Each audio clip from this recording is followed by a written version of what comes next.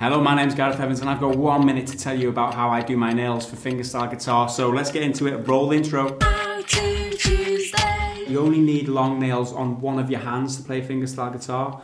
The other hand should be as short as you can get them. So if you put your hand down flat, the edge of the nail that you're looking to shape is always on the inside, so the, the edge that's closest to your body. And this is the edge of your nail that will make contact with the strings. you want to round them as much as possible. You don't want to make a point in them because that will give you a thin sound. A rounded nail will make more contact with the string and will give you a fuller tone. Everybody's nails will sound different depending on how thick your nails grow and how strong your nails grow. It depends on the individual how long you should have your nails. Everybody's different. We're looking for the best tone that we can get as possible. So you should experiment with the length of your nails and do bear in mind that the hand position and the way that you approach the strings with your hand will have a bearing on the sound of your guitar. Leave your suggestions for any more How To Tuesday videos down in the comments. I'll see you again next time. Bye for now.